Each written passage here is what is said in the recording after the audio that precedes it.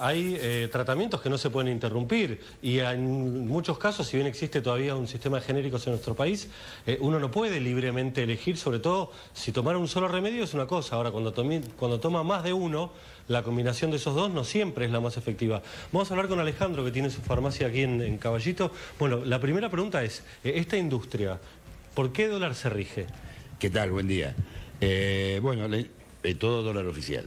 Eh, lo manejan los laboratorios. La farmacia no es formadora de precios, eso quería que quede claro. Este, a nosotros nos llegan las listas. ¿El medicamento tiene el mismo precio en la farmacia A, en la farmacia B, en la farmacia C?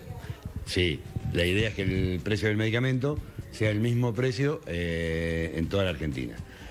Después cada farmacia, cada cadena hace los descuentos que pueda, pero el precio es el mismo para todos. Ese es el mismo. Alejandro, ¿qué pasó esta semana después del anuncio de, evaluación del lunes? Y bueno, tuvimos, ayer fue un día de mucha incertidumbre, eh, un día raro, porque normalmente el trabajo en la farmacia de los precios te llega a la mañana, una lista que uno la baja, actualiza. Eso fue lo que pasó ayer a 8 de la mañana y durante el día empezaron a... En, ¿En condiciones normales todos los días llega una lista de precios? En condiciones normales todos los días llega una lista de precios que hace que el precio del medicamento corra atrás de la inflación un punto menos. Generalmente el precio del medicamento mensual aumenta un 7%. Lo que pasó ayer fue que a la mañana aumentó normalmente, pero durante el día llegaron tres listas nuevas y la corrida fue un 20% aproximadamente. Ayer modificaron los precios cuatro veces acá. Sí, cuatro veces, cuatro veces. ¿Qué decía la gente? No, una locura. Había gente, eh, gente que pedía, preguntó precios a la mañana, cuando lo vino a comprar al mediodía se encontró con una suba importante. Inclusive hubo productos, cuando uno dice que aumentó el precio del medicamento un 20%, eh, es en el universo global del medicamento, pero hubo algunos que aumentaron un 40%.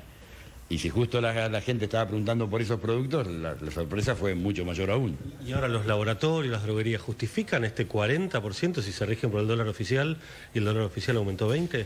Y no, no, todo. En general, por eso tengo un promedio de un 20 y hoy se estará corriendo otros 5 más, pero igual la gente no puede acceder. Fue un golpe muy fuerte.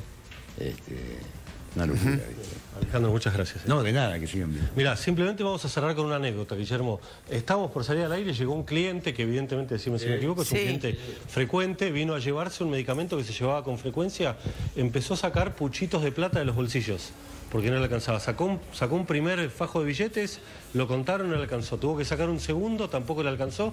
Y entre, entre los dos, entre farmacéutico y clientes, fueron sumando a ver si le alcanzaba para comprar el medicamento. Así la situación en las farmacias después de la devaluación.